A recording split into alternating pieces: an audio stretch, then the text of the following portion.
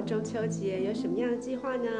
是跟家人在一起团圆吃个饭，然后在月光下赏月，还是跟朋友一起吃月饼、聊天、谈心呢？不管你是用哪一种方法度过你的中秋节，可千万不要忘了饮食不要过量，而且要做运动，才不会发胖哦。至于我呢，我要去跟嫦娥小姐一起吃月饼、聊天哦。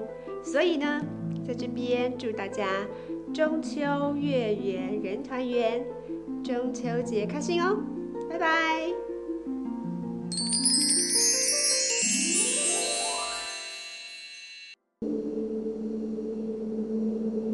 中秋节要吃月饼，可是月饼千万不要吃太多哦，以免消化不良。而且月饼很甜，很容易发胖的哦。小朋友吃完月饼一定要刷牙哦，以免蛀牙哦。